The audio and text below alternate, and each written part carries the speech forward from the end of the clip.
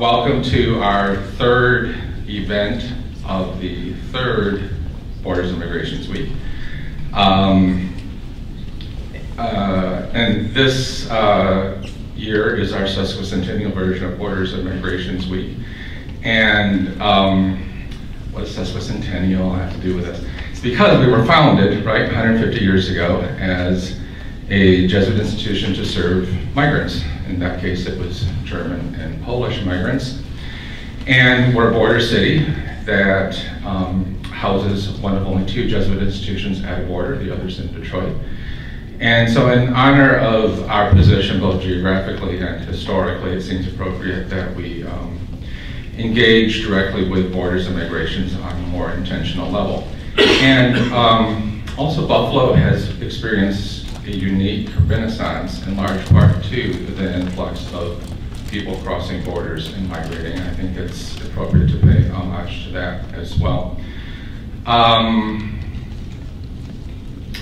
so Borders and Migrations Week is sponsored by a whole bunch of people who somehow managed to work together, uh, including the Department of Modern Languages, International Relations, Sociology, the Bouwhuis Library, uh, the VP for Academic Affairs, Latin American Studies, the Office of Mission and Identity, Sigma Delta Pi, the Spanish Irish Society, Institute for Global Engagement, the Institute for the Study of Human-Animal Relations, and Campus Ministry, which I think is a testament to uh, a lot of good cooperative people on campus that I think is something to be proud of and something unique uh, to uh, Canisius. Um, for those of you that are interested, there are more flyers in the back that list all the events for the rest of this week.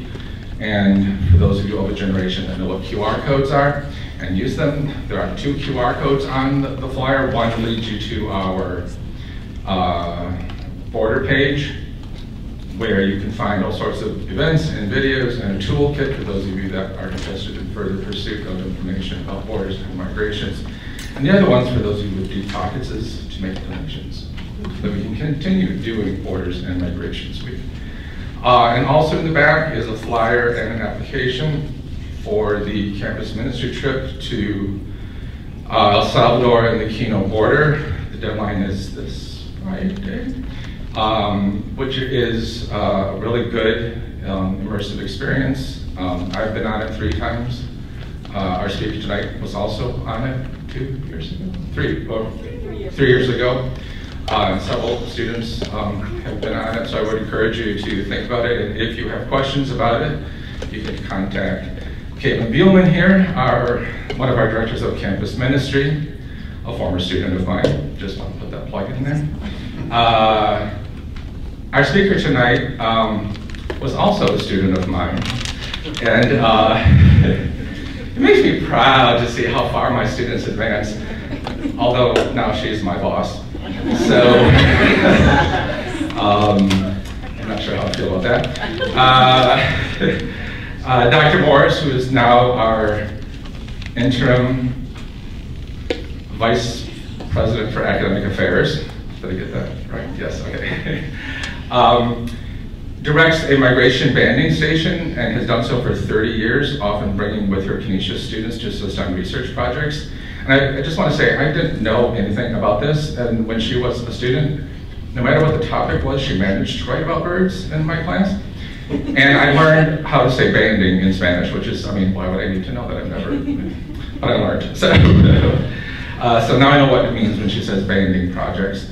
Um, she's published more than 20 peer-reviewed papers with 24 different Canisius undergraduate research assistants and continues to publish, I don't know how you have the time, uh, with several former students who are now ornithologists. So please join me in welcoming Dr. Morris for tonight's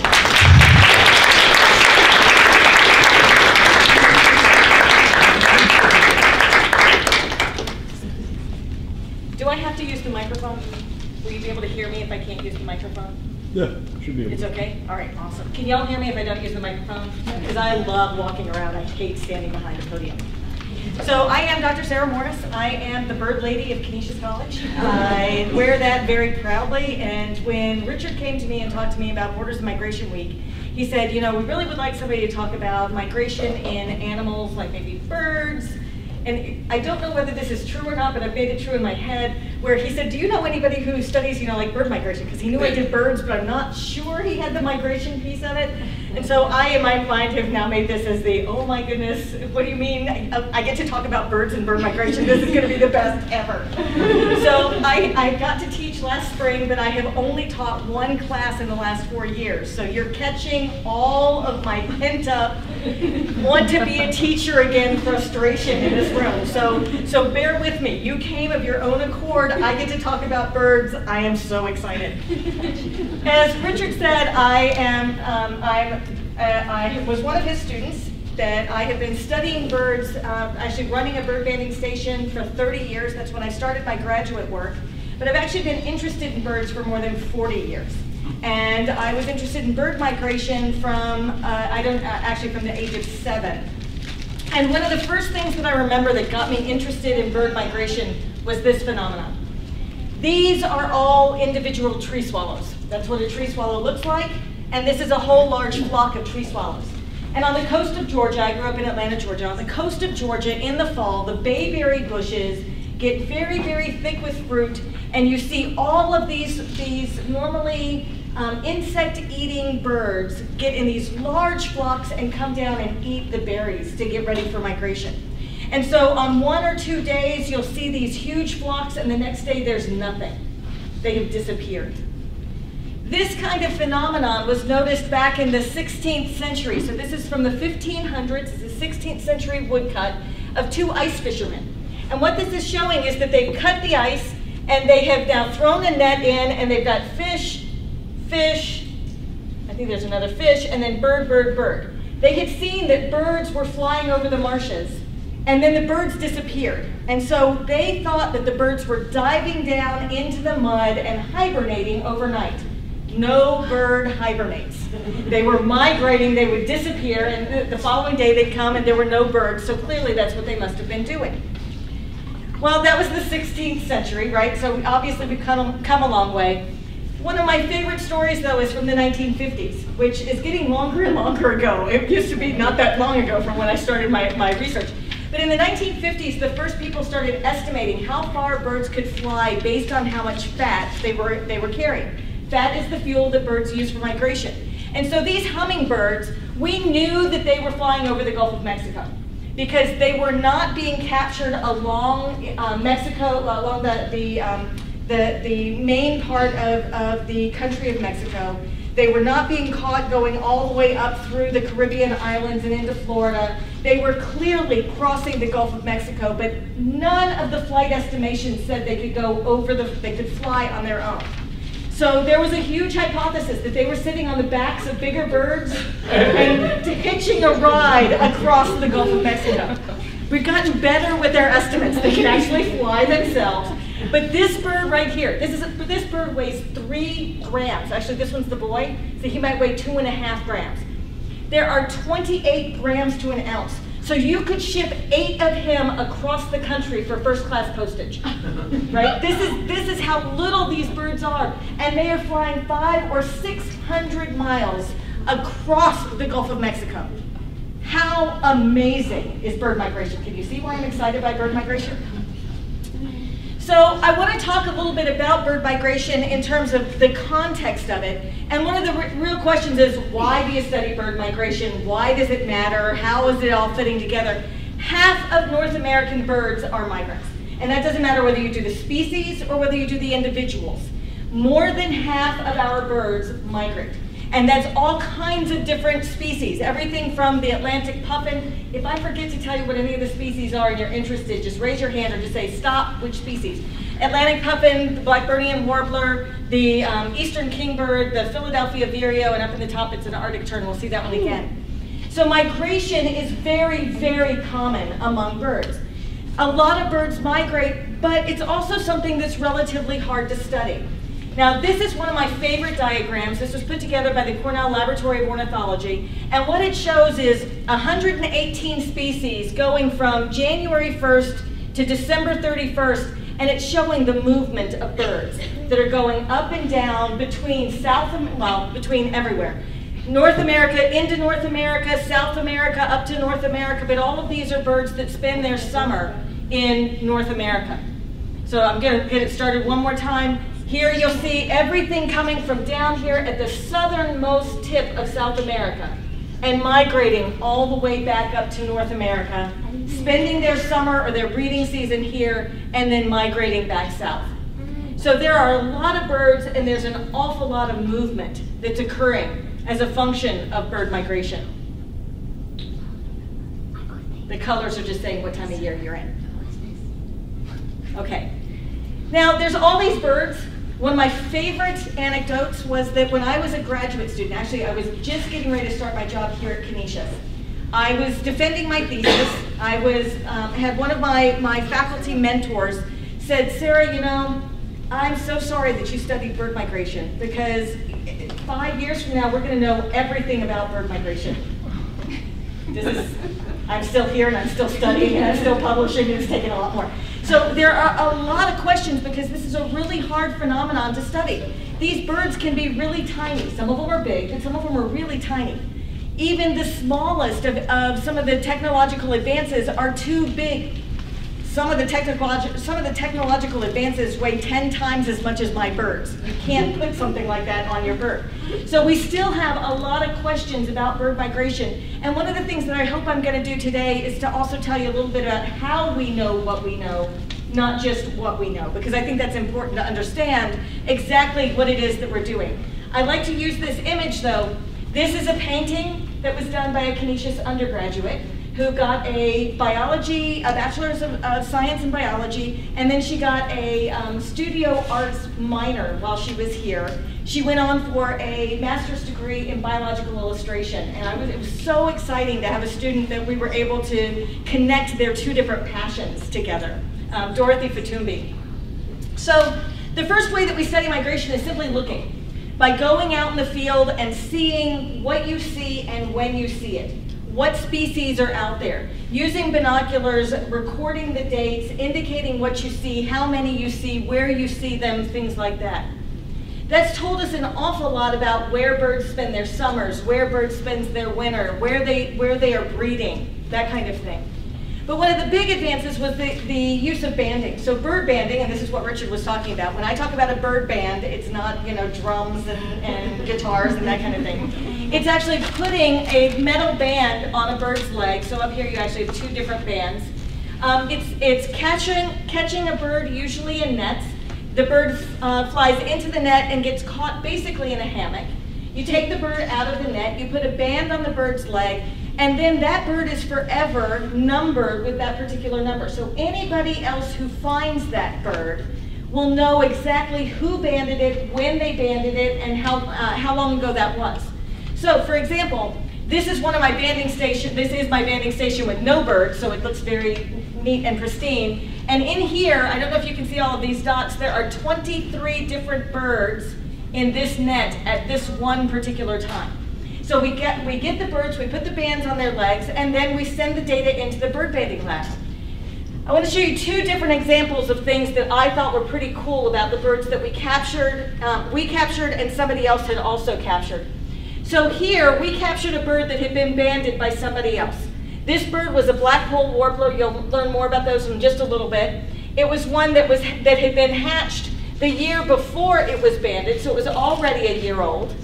It was released in, um, it was banded on September 2nd of 1998. We captured it on May 29th, 1999, so it was at least a year old when it was captured. It then migrated all the way down to South America, and we caught it on its way back up to Newfoundland. So something that allows us to see where these birds are going. This one is my coolest record ever. And the reason why it's my coolest record ever, it's a common yellowthroat. We banned a gazillion of these. And when I say a gazillion, I mean like tens of thousands of these. Um, so not, the species was not all that exciting.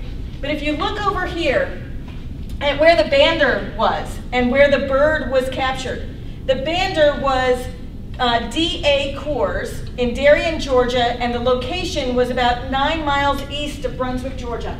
That's Jekyll Island, Georgia the Jekyll Island banding station, where when I was 13, I banded my first bird. This was the person who taught me how to band. And I caught one of her birds on my island off the coast of Maine.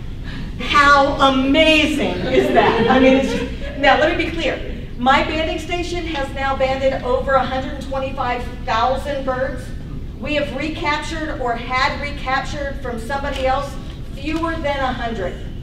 We're not trying to get somebody else's birds. We're interested in what's happening in our location. But by banding these birds, we can find out more about what's happening in our location and put that together with what's happening in other locations. So this was just unbelievable that I had that as an opportunity.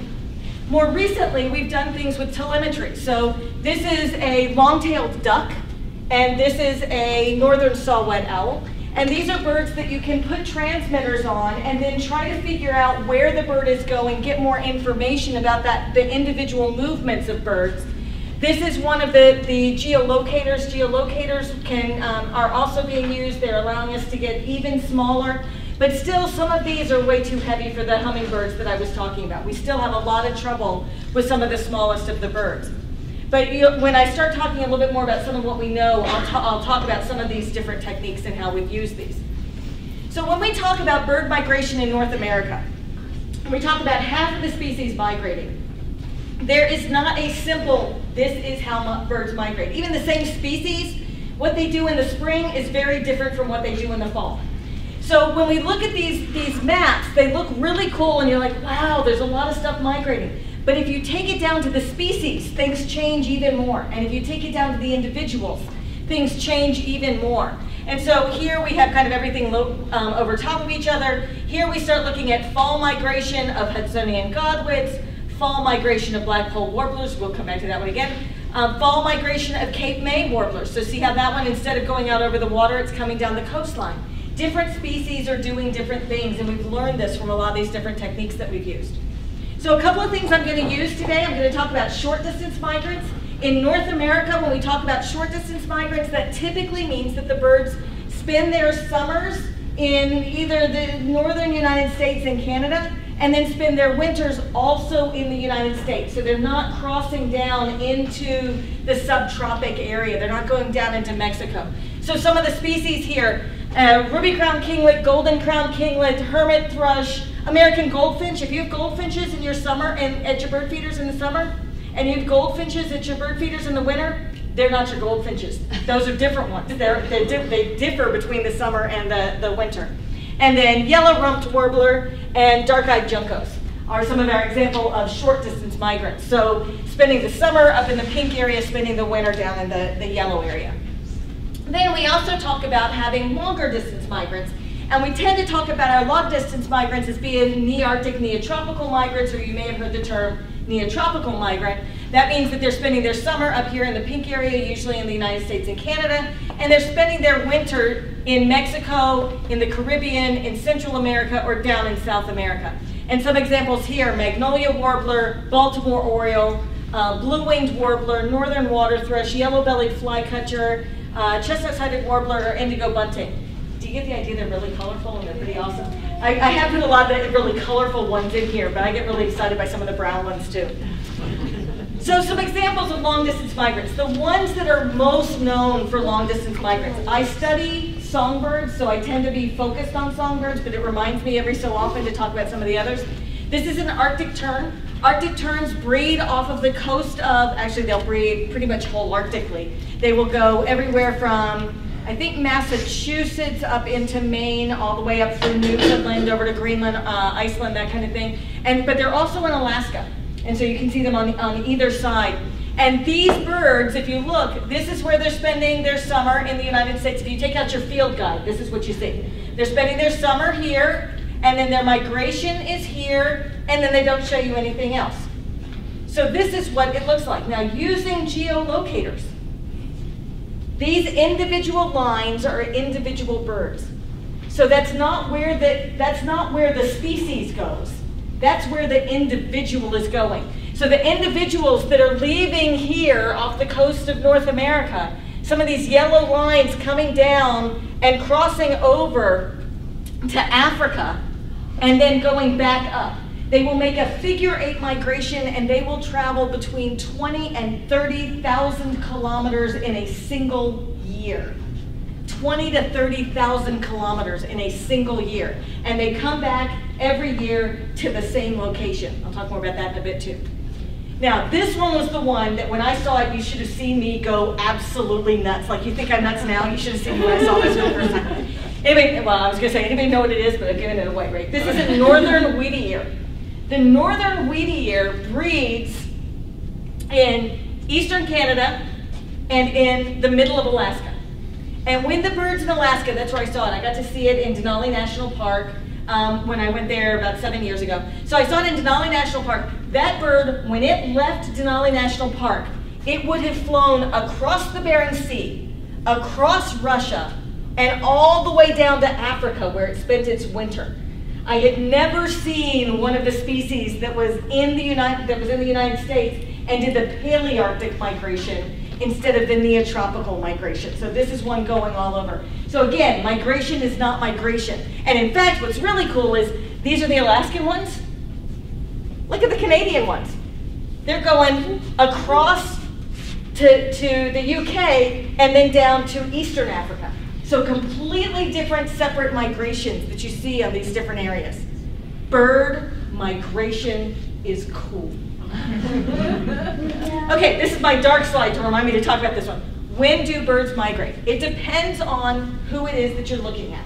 So if we think about species like, I just thought it was really cute to have baby ducks. So if you look at species like waterfowl, they will migrate during the day or they'll migrate at night.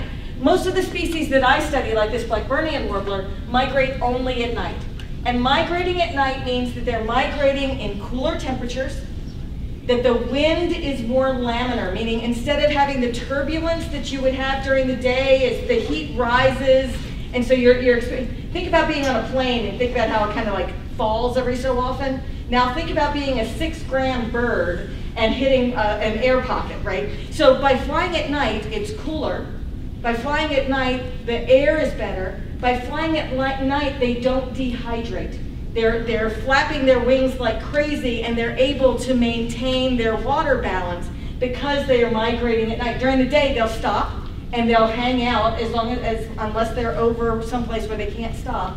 And they will, will wait and then pick up again the following night. So we know a lot of this about these, these species. Now this is an example of how we know that birds are migrating at night. This is the Buffalo weather radar. I know everybody thinks that weather radars pick up weather. Well, they do. But the weather radar actually picks up any um, item that is in the air column. That could be raindrops, that could be snowflakes, that could be dragonflies, that could be bats, that could be birds. One of my very dear friends got literally hundreds of thousands of dollars from the Department of Defense to, to get the birds out of the radar. to figure out how do you do this. In fact, when I was driving in this morning, NPR had a story about how the Department of Defense, like this weekend, was mobilized because they saw this, this radar thing that was like, uh oh, what's going on over there? And it was ducks so this is not something that is this is not something that's that that is um, unexpected. We know this happens, but we can tell this is birds because it's on the north shore of Lake Lake that's Ontario, Lake Ontario, and on the south shore of Lake Ontario. It's not in the middle of the lake to get started. These are the birds that started. They were spending their day up here, and then at night they started flying out over the lake. This is a radar image that is now going to show them expanding going north. So this is instead of going in the fall, this is in the spring. And as the, the radar continues on, you'll see more and more of that line going out over the lake. And we can see bird migration moving. And it starts just after sunset. And then during the day, we don't see this because the birds pretty much stop. Now, I should say there are a few species of birds that migrate in the day besides the waterfowl. Some species that flock together will still migrate during the day, but most of our little birds are migrating at night. And some of this work is some of the work that you may have heard about that's talking about the, the disappearance of birds. We can quantify the number of birds in the air based on what some of these, these things look like. We also know that birds migrate at night. When we look at radar, we can say there's a lot of birds there, but we can't say what species. They're just dots in the air, right? But we can record birds at night.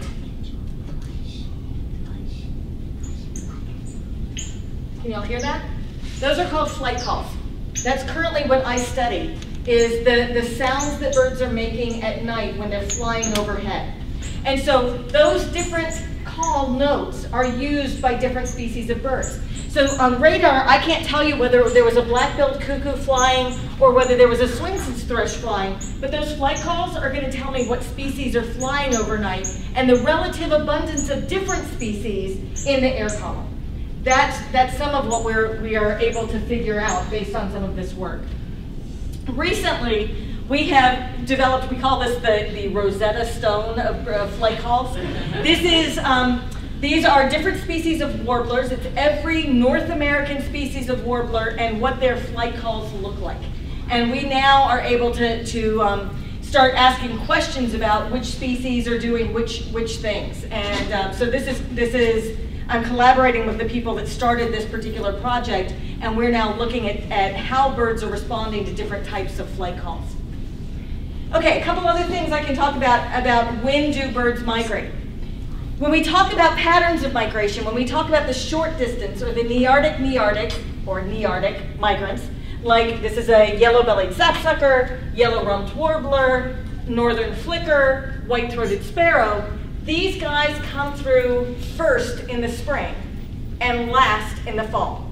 So they kind of bookend the migration of the long distance migrants. The long distance migrants that are leaving from Central or South America come here later. They started, they may have started migration earlier, but they've got longer to go. And so things like, those are, I know they don't look like it, but least flycatcher, yellow-bellied flycatcher, Traill's flycatcher, cerulean warbler, really, really awesome. Warbling vireo and red-eyed vireo. So a bunch of different species that spend their winter in South America and make their way back up here but they tend to come later in the spring and earlier in the fall. They're being bookended by those short distance migrants. This means they have less, less time up here to breed. This means they have a shorter time period in which to, to reproduce, to replace themselves, to, to feed their young. If their nest is unsuccessful, many times they cannot try a second one because they just don't have time. They're very, very time limited um, because of this. But there's some really cool patterns related to this that most people have heard about. I don't have any cliff swallows, but um, tree swallows or, or almost any of the swallows, if you watch, you can predict approximately what day we are going to start seeing them in April. They come back here at about the same time in mid-April every year. Things like the scarlet tanager, I can tell you that they tend to show up here the first week of May. In fact, I usually would start my ornithology or biology of birds classes saying, I am so excited because the last week of the semester, my rose-breasted grosbeaks are going to come to my house, and you're welcome to come. I'll give you my address. You can come see rose-breasted grosbeaks at my bird feeder. Um, and I had this, there's this great, a student was trying to do a project with me. This was wonderful. Wanted to see whether this, the, the hummingbirds could figure out the sugar content of, of sugar water. So they were going to do a low sugar content and a medium sugar content and a high sugar content. It was one of the coolest projects I have ever had a classroom come up with. And they don't come back until the 20 something, the, the, the, well, mid, mid uh, teens, which is after final exams, would not have worked for a class project to actually get your, your grade done on time. But we can predict when they're coming back. So when we say, when do birds migrate, are you talking time of day? Are you talking time of year? Are you talking about when they come back to this particular location? But we can also talk about site fidelity, and that means birds coming back to the exact same location. So I'm going to start with this one, and then I'll come back to that one. So this is a common yellowthroat, that same species that I told you about that my, that my friend had banded, my mentor had banded. This is what they look like. This is a male. The reason why it's got actually four bands, so a silver numbered one, a blue one, a white one, and a yellow one, is we don't have to capture that bird again to know exactly which individual it is. That bird is uniquely identified. This bird was caught in the same net six years in a row. Okay, now let me be clear. This does not mean the bird was done. Okay. What this means is that when that bird came back, it came back to not only the same island in the middle of the ocean in Maine, but it came back to the same exact net, the same exact spot after it went down to Central America and then came back. Six years in a row. Now let me say again, the bird was not dumb. During the summer, we take down all of our nets. The young birds are going around and the parents are following and they're going back and forth and there's no net there and the bird kind of gets used to it. The bird flies down for its winter. It comes back and dadgummit, that net got put up again. And we only caught it once, right? But, but the bird was in that exact same location. So when I talk about my birds, which I really shouldn't, but I do, when I talk about my birds, they are the, same individuals that are coming back year after year to my backyard because of this site fidelity. Now, I, I knew about this for the breeding season because I've been studying this with my banding station. A friend of mine studied in Ecuador. This is a gray-cheeked thrush. She was down in Ecuador in December, and she caught the same individual gray-cheeked thrush, I think it was four years in a row, in the same national park in Ecuador. So we know that they show site fidelity in the winter, and we know that they show site fidelity in the summer, which is pretty amazing. Bird migration is really cool. Hopefully you'll get this by the end of it. if I were giving an exam, that, that would be, bird migration is really cool. Support this with evidence from the lecture, right? okay. So a couple other patterns of timing. Males arrive before females do. So up here, the males come back first. I actually give a lecture for um, for, for the Audubon Society called Taking the Sexism Out of Birding. and the idea is that I make people focus on how to identify female warblers instead of the males. But I start with, of course you're going to be focused on the males because the males come back, they're more colorful than the females, and they're singing. It's like, here I am, look at me, right? And so the females, on the other hand, are coming back and they're being kind of cryptic and they're setting up a nest and they're being kind of quiet. But the males are, are out there trying, singing to set up their territories, to defend the territory. By the time the territory is set up, the females arrive and the males can now get amorous. so the males come back, on average in a species like this, the difference between the average date for males and females is only about two to three days. But if you look at the earliest males and you look at the earliest females, it's about 10 days difference. And so there's, there actually is some pretty major difference between what's happening with males and females. And if you come back earlier, so these are gulls, these are black-backed gulls, this is the female, this is the male, and when the males come back and they fight and they get all of the aggression out, and then the females come back and they can get amorous, you can have babies. And so then they can, they can be successful because they've gotten a lot of the, the territoriality done before they get before the females come back and they start uh, developing their territories and having their nest sites. And all of this is really important because food is going to be a really key part of their success. As I said, the, the, the neotropical migrants, like this magnolia warbler, is coming back later than the nearctic migrants. They don't have a long time up here and when they are here, they are trying to raise a bunch of mouths. Now, I don't know if you can see it, but it's one, two, three, four, five different babies that are in that particular nest. They can raise a lot of young because there are a lot of bugs up here in the summer. And tell me about what time the sun rose this morning. And what time did the sun set this afternoon? Very good. and tell me what time that happens in July. Not the same. Not the same. As someone who studies bird migration, spring migration gets earlier every single day. You know, sunrise, we set up our nets every morning before sunrise. In May, in June.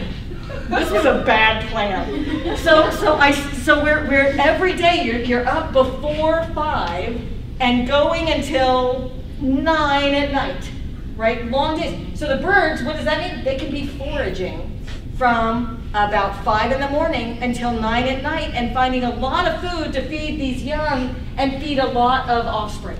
A really great opportunity to take advantage of seasonal resources. Another thing about this is that age matters, not only gender, but also age. So this is an adult male rose-breasted grosbeak. This is a young male rose-breasted grosbeak. the adults arrive back before the young birds do. And one of the reasons we believe this happens is that if he came back and set up his territory, and this one came up, he would win every battle every time. So rather than wasting energy, it appears that these guys come back a little bit later. They have set up their territories, they see what's left over, but they don't have to fight further and, and lose a territory when they come back. That appears to be an advantage of the pattern that we end up seeing. It, it's probably not quite that simple, but we do see this so that um, in my backyard on my feeders, I get the adult males first, I get the adult females and the young males at about the same time, and then I get the young females. And it seems to be this kind of pattern frequently. And in a species like this, it's very, very obvious. Now, one of the questions I always get is, how do birds know where to go? It depends on the species.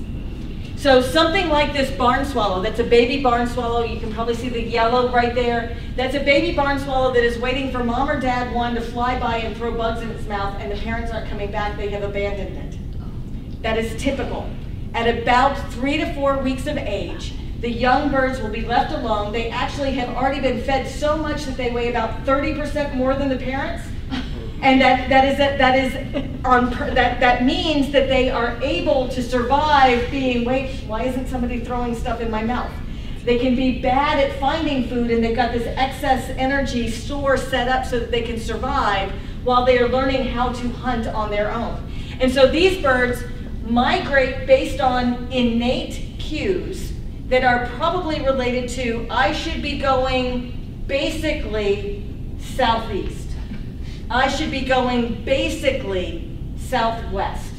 I should be migrating for now. And meaning for now, meaning they, they have a drive to migrate for about a month and a half. And so by that time, it will take them to where they need to go. They, in, they imprint or they learn that particular area, they migrate back to the same location, but it's a, it's a combination of learning that route but also having this innate drive to go in a particular area for a particular time. That's typical of most of the songbirds. The parents and the young do not migrate together. The, there is this genetic component that is going to get them to the right place, or if they don't, they will not survive. These are Canada geese. For those of you who know me, they are not Canadian geese. That is one of my pet peeves. Um, these are these are Maine, so they're they're not in Canada. They are here. They're Canada geese. And I don't know if you can see it, but do you see the little, the little guy with his little tiny wings that has jumped up in the air? Yeah. Okay, so he's not flying anywhere with those wings. But with them, they will actually stay together. And the parents will teach the young the migratory routes. That's typical of many of the waterfowl. If you have heard about um, the endangered whooping cranes, whooping cranes, they actually learned how to train using sandhill cranes birds to fly between behind ultralight planes so that the birds would learn how to migrate. So there is a learned component in certain species, and there's an, an innate or, or a genetic component in other species. And it really depends, and it appears to be a, a pretty important feature. Part of the reason we see the Canada geese are no longer migrating here, they have lost it because they didn't learn it. They had food. So do the innate birds tend to stick in like packs or flocks with their waterfowl, or do they travel independently? Great question. So the question was, do the, the birds that are that are migrating using this kind of genetic or innate component, is that something where they're migrating in flocks or are they migrating individually? That's not, I don't, it's a great question and I don't have a really, really good answer. Because if you look at when bird migration occurs, it occurs on particular nights in very, very large quantity. Now, it is not Fatima and Joanna and me going, oh, let's go tonight. It's going to be, wow, the conditions are awesome. And so the three of us individually decide we're going, and then we're up there making those flight calls and communicating while we're in there. So it's not really like a flock that goes as a group, but they do tend to, to leave at about the same time, mainly because of the conditions being really good. The conditions being good usually means that the, you've got tailwinds that are going to help push you in the direction that you need to go, which will decrease the amount of energy it costs to migrate. Okay. Now, migration is really, really costly. The number up here, annual survival estimates are about 40 to 50% of the birds will survive in a given year. Now, that's of all birds. keeping in mind that many birds are adults and they have a higher rate of survival. There are estimates that as many as 75 to 95% of young birds will die every year. So it must have some benefit or all of these species would not be doing it. Now that, that's during the entire annual cycle, but most of the, the mortality is occurring during migration. The birds tend to survive really well in the summer. The birds tend to survive well, but not quite as well in the winter. But the migration periods are the times where most birds that, that don't survive during the annual cycle are going to, to, um, going to perish. It may be as much as 15 times higher, the mortality rates during migration, um, than it is during the, the summer or the winter months. And so when we talk about birds, we talk about birds being birds of two worlds. Birds being a bird that survives in their, their breeding grounds and a bird that survives in their wintering grounds. I actually really dislike this because birds are birds of three worlds. They have their breeding grounds, they have their wintering grounds, and they have the area that they're going to have to tra travel through in order to get to the between those two. So they've got summer, they've got migration, and they've got winter. I'm going to show this so that you can watch. Be watching the colors coming down here. This again is going through by week of the magnolia warbler, showing the pic showing where the birds are. Here it's in March. Soon you're going to start seeing it move up into the United States. And it's, yeah, so now you start seeing the, the, the light where the birds are now being observed going through June, and then in July, August, you'll start seeing those colors disappearing again as they head back through. But they've got to make it between the breeding grounds and the wintering grounds in these areas where they do not have site fidelity. These areas of unknown, these areas where, where the world can be pretty perilous. One of the big problems is that we have a huge amount of habitat loss. We have habitat loss in the breeding grounds, we have habitat loss in the wintering grounds, we have habitat loss during, uh, along the migratory routes. One of the things I'm proudest of is the fact that some of my research was used by the Nature Conservancy to figure out which parcels of land across the Lake Ontario shoreline they should conserve. I thought, wow, somebody actually read my work. it wasn't just that I was doing this, it's that somebody's using this to help in bird conservation. So when we talk about birds going between their wintering grounds and their, and their breeding grounds, we often talk about this as stopover ecology or the stopover sites, the place that birds migrate at night and stop during the day, and then migrate at night and then stop during the day. And these stopover sites can be really critical. They may be places that birds stay for several days because of bad weather patterns that are coming in. They may be areas that birds are avoiding being eaten by predators like that peregrine falcon. So most of the falcons, most of the birds of prey migrate during the day. The songbirds are migrating at night. The birds stop during the day, hold up, wait until night, and they're trying to avoid, or one of the advantages of these stopover sites is waiting to be able to, to um, avoid being eaten by some of these predators that are also migrating. The other thing that's very critical about these places is the fact that they can be used for um, foraging. Now, for most of you in this room, you are way too young to understand what I'm about to explain, so just bear with me. Ask your parents about it later. so I took a picture, I took this picture of this species. This is a summer tanager, which is not supposed to be in the state of Maine. I have more, more of them sighted than all of the rest of state of Maine together because, because of my banding station. And these summer tanagers, um, this is a female. I took this picture back in the day before digital cameras, when you had the, the film camera, and I used an Instamatic camera, meaning I did not have my super good lens I was literally the distance from here to here to this bird because she would not fly away. And the reason she would not fly away is that she had not only used all of the energy stores that she had, she had also started metabolizing her breast muscle, the, the flight muscles. She would not move until you got so close that you were a true threat. And on day two, I had to be this far away. And by day three, she would move at about this distance as she started building up her reserves again and could respond to, to the, the threats that were there. Having the availability of food is unbelievably important for these birds. Now, we talk about the food resources that a, a, a place might give.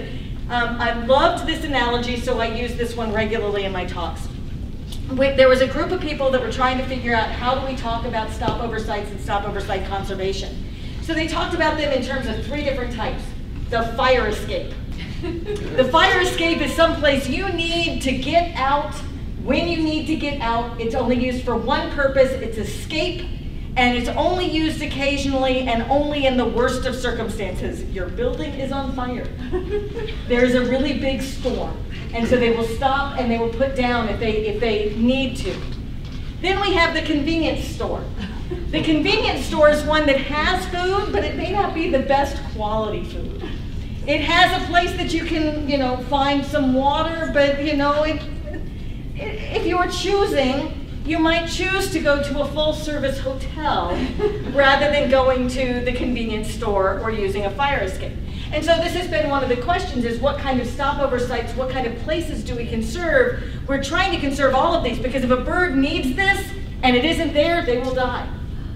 If a bird needs this and it isn't there, they will die. This is a matter of life and death for many of the migrant birds that are moving between these different areas. So I talked about birds having fuel. Birds will build up fat stores.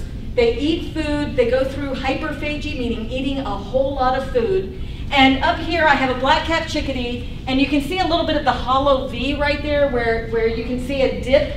That's where the, the um, wishbone is in the bird, and that dip down is between the breast muscles on the two sides of the bird's body. Can you see that there's no V, and in fact that is mounded up instead of being that hollow area, and it's yellow, not burgundy. The burgundy is the muscle color. The yellow is fat. This is a blackpoll warbler, and she has so much fat. This was actually, a, um, we, we categorize it um, anywhere from zero to four. This is a four, which means she squishes when you pick her up. Um, but that, that, that fuel is what she is using to migrate from one area to another. And this is really, really important. Now, there are two things, actually three things I'm going to tell you on this slide the importance of feeding. First off, whenever I do this, I always forget, so this is my reminder. This is a black-throated green warbler. In its mouth, you can see a fly. While my hand, I was holding the bird in one hand, holding the camera in the other, taking the picture, a fly flew by, and the bird grabbed it in the air while I was taking this picture. Because a lot of people say, aren't you harming the bird? Well, clearly it's eating while it can, so they, they are still, they're still doing this. So the birds are using this, these, these food resources to build up their fat stores that will allow them to successfully move from one area to the other. So there's always the question of really, can birds do this? How much do they do? How much does it take? So I have this ovenbird. Because, and this, I know everybody who does lectures, you can get into this thing where you, you tell this, you know, tall tale about what happened, like whether Richard actually knew or didn't know that I studied bird migration. This is not a tall tale, this is, this is real. I have had multiple ovenbirds where I caught them. You remember I said you band them and then you want to catch them a couple of days later at our stopover sites to see what they're doing so we know exactly what bird it is and we can see how it was doing. I've had multiple ovenbirds that have gained 75% of their body mass in four days. Think about a 100 pound human being becoming 175 pounds in four days and then losing it all. so that's, I mean, that's what these birds are doing. They are eating like crazy to gain the mass that will allow them to go. Now that 75% of its body mass means that that bird can fly for over a thousand miles. Right? So if the bird stops and it feeds and it gains 25% of its body mass, it can go for 400 miles. And that can make all the difference between whether it is successful or whether it is not successful. Now, I have, this is actually, I love this because it's an old picture of her. This is Christy Covino. Anybody oh have oh Dr. God. Covino? Okay, this is this this is her from when she was when she was doing her, her master's work. So this is Dr. Covino. She is currently a tenure track faculty member at LMU, another good Jesuit school. Mm-hmm. She was an undergraduate research assistant of mine here at Canisius, and she and I are still publishing together, actually on this same species, the blackpoll warbler. And what her work for her master's thesis showed was if you ended up having birds that did not have a lot of fat, they were not likely to initiate flight. They were like, likely to stay at a particular location. If they had a little bit of fat, they might leave, they might stay. If they had a lot of fat, they were likely to leave. The coolest thing ever was what she did to figure this out. You know those glow sticks you use at, at Halloween? She used those glow sticks and she put the glow stick material in a capsule and glued it to the behind of the bird. She would let the bird go and then you would use your binoculars to figure out did it go into a tree? or did it leave? And there were a whole group of us that were sitting up on, on were sitting up on the commons deck with their binoculars looking to say, it's up, it's up, it's down. and so, and then we actually double checked. Every bird we said went down. If we recaptured it, we were correct. And we never recaptured a bird that we said had, had actually left the island. So we were actually trying to figure out whether the birds were leaving or staying. Pretty cool. This species, the blackpoll warbler, is one of, I said bird migration is cool. This is like the coolest of the cool. So blackpoll warblers, we have known for years, or we have thought for years, leave the eastern coast of the United States, even if they breed in Alaska. And they migrate out over the ocean for 80 to 100 hours nonstop flight. We now have geolocators that are just small enough that we can do we can look at them Departing on the 13th of October, hits the Caribbean on the 15th of October. Departing on the 1st of October, hits down here about the 3rd of October. Departs on the 25th, hits on the 27th. These birds are flying for two to three days non-stop. Think about running a four minute mile for non-stop, and if you can't do it, you become fish bait. That's what every one of these individuals is doing. The other really, really cool bird fun fact if you were burning gasoline instead of burning fat as fuel for migration, birds could boast 720,000 miles to the gallon. it's based on grams, but it's 720,000 miles to the bird migration is cool. now we know that birds do different things at, at different parts of the year. This is a fox sparrow. We know that they will actually do something called leapfrog migration. The birds in the north will jump over the birds in the middle and migrate further south than them. Things like the American redstart, we know that when they get down into their wintering grounds, the males and the females segregate. The males take the good territories and areas with lots of food and leave the females for the areas that don't have quite as much good food. When the males leave, the females move into the area that has good food, build up their fat, and then they can leave, which means they get back to the breeding grounds several days later than the males. It's, it's kind of fitting all of those pieces together. This is part of how all of this is happening. And if you look at what birds are doing at different times of year, this is an eastern kingbird. It breeds up here. Up here, they are completely territorial and they eat almost exclusively insects. In South America, they are entirely um, a flock living and they eat almost entirely fruit. So completely changing their biology between the breeding grounds and the wintering grounds. Now I've been really lucky. I've had the opportunity to study migration for all of my career and to be able to, to work with students that have been willing to do things like this with me. But I want to, I always, when I, when I talk about bird migration, I want to remember that birds are not the only things that migrate. That we have monarch butterflies, red bats. So I actually caught that bat in my bird net. Um, it was really cool. It was a red bat. I'd always wanted to see a red bat. Um, humpback whales. If you didn't know it, salamanders migrate. Not like birds, they don't fly, and no, they don't go down to South America, but they still migrate. And so migration is a natural phenomenon that we see in many parts of the natural world. We even see migration in humans.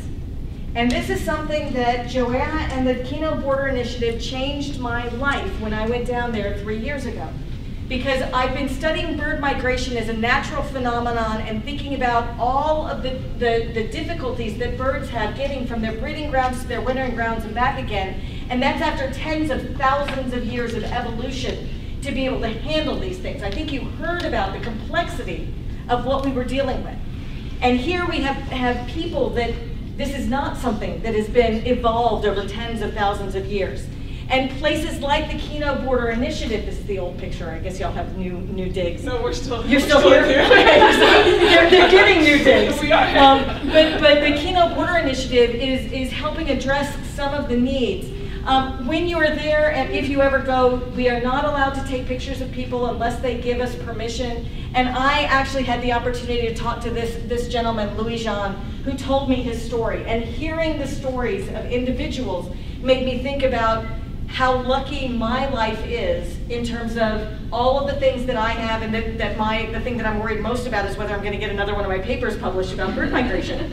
Um, but it also means that, that um, when we think about the difficulties that birds are feed, that, that birds are having, I am now also starting to think about this in terms of what other difficulties we see in the world today.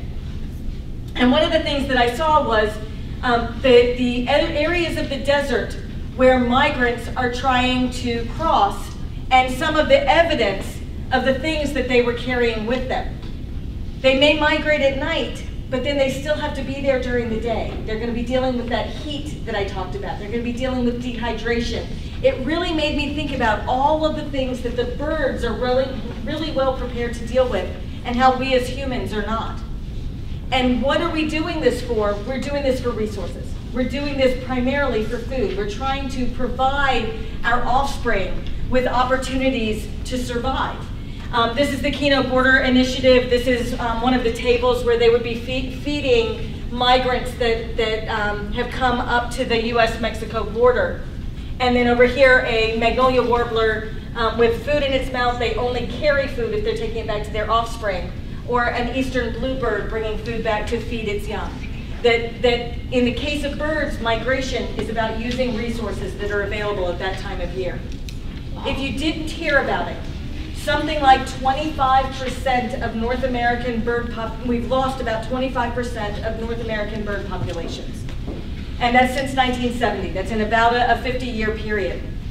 And that's, that's pretty sobering for those of us that study birds. But Cornell University has put out a list of what you can do to help save birds. You can make windows safe by using some of the decals, or even better, painting murals over them if they're windows that are not really being used. Keeping your cats indoors, it's better for the cats, it's better for the birds. Using native plants and avoiding pesticides, that, that will make it more insects, the birds will help take care of things. Reducing their, your use of, of plastic, and if you drink coffee, please drink shade-grown, bird-friendly coffee. You can, you can um, grow it in different ways. And you can watch birds and share what you see. This was from the Cornell Laboratory of Ornithology, and early on I showed you this. This was 118 species of birds. This data was collected entirely by citizen scientists who wrote down what they saw, when they saw it, where they saw it. There was not, well, scientists probably did it too, but it was only as bird watchers this was not as ornithologists. This was simply recording in eBird what we were seeing, when and where, and we can develop this. You can help conserve birds by helping to collect data that will help us figure out what's going on. The bigger thing, and I want to thank Sarah and Jen and Andy for doing this, is to get people started young. This is my daughter. She's now 15. But, but this is my daughter when I was introducing her to nature, where she would, she would have a de develop a love of birds and want to conserve. She's, she's not going to be an ornithologist. She's not going to be a biologist. But she's going to want to have the outside be appropriate. She's a vegetarian. And I mean, and she has been for three years. She's 15.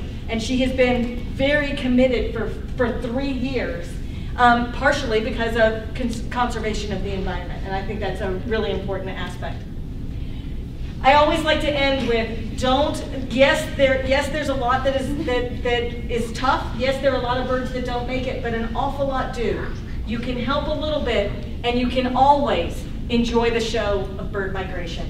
And I just want to thank all of the people that have helped over the years with all of my various research studies, including a whole bunch of different um, Canisius undergraduates. And with that, preguntas.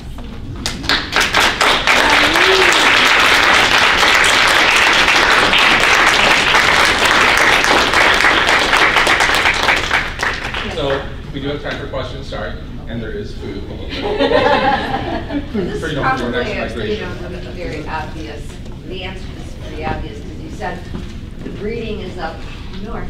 So that means like in California, they never find little birds' nests around? So, well, the good- so what I was showing was kind of this, the extremes.